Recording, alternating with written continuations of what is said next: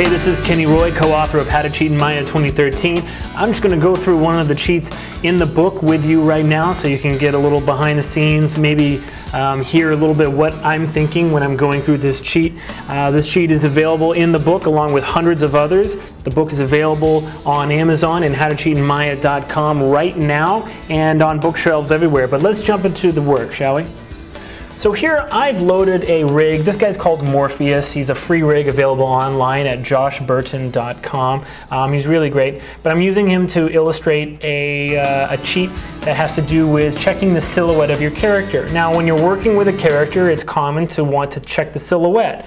Um, do we have nice rhythm? Are we having you know a nice play between the positive and negative space and, and all those issues?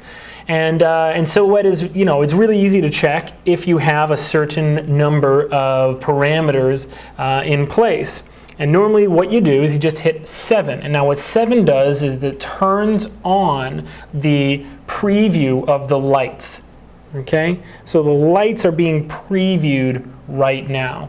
And that's great and all, but with, uh, with a light added to the scene, okay, like, like we have right here, I rotate around the light, you see that I'm actually seeing the light. So to see the silhouette by hitting 7, um, and obviously because there's no lights in the scene, everything's pitch black, right? Um, to, to use that method only works when you have no lights.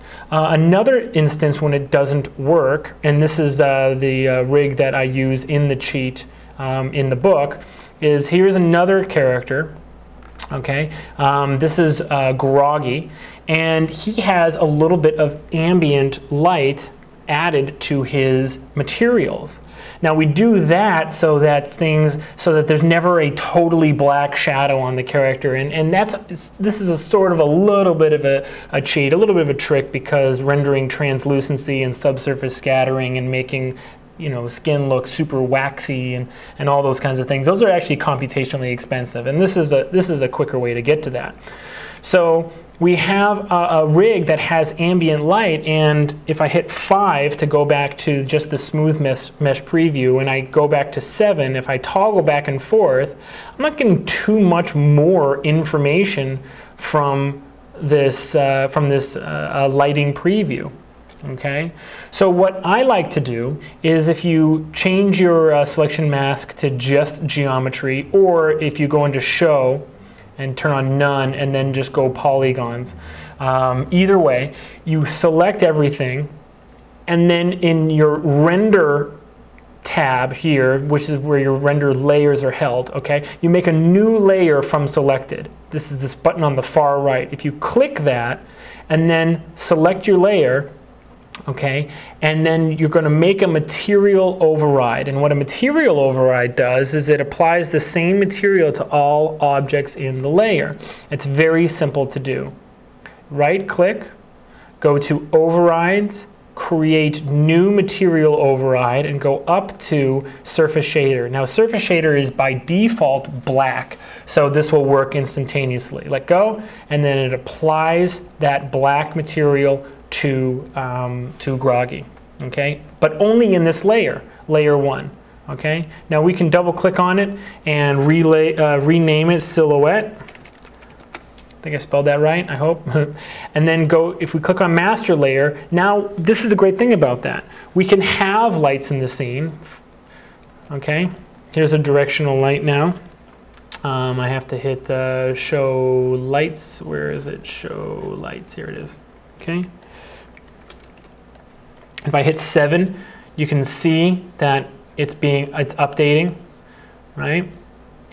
And not only is the light not added to this layer, okay, but even if it was, if I right click and hit add selected objects, now the light is even in the layer. And I'm on lighting preview, it doesn't matter. So if I remove selected objects, and you see that I'm in uh, light mode, even if I go back to just smooth shaded mode, if I hit 5, okay, remember lighted, or lit, not unlit, lit, unlit, right? So if I'm on just smooth mesh preview and I go back to silhouette layer, there you have it. You have your nice silhouette layer that you can always just click on. It's one click away. and you it doesn't matter how many lights you add. It doesn't matter if your character has materials that uh, have ambience on them. It's it's always at your fingertips. So there you have it.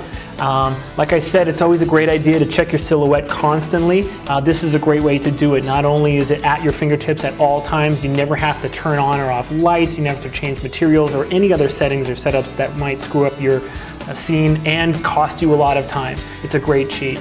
So thanks for watching. Please check out this cheat and hundreds more in How to Cheat in Maya 2013. You can find the book on Amazon, howtocheatinmaya.com or on bookshelves. Uh, good luck with your animation and as always, rock on.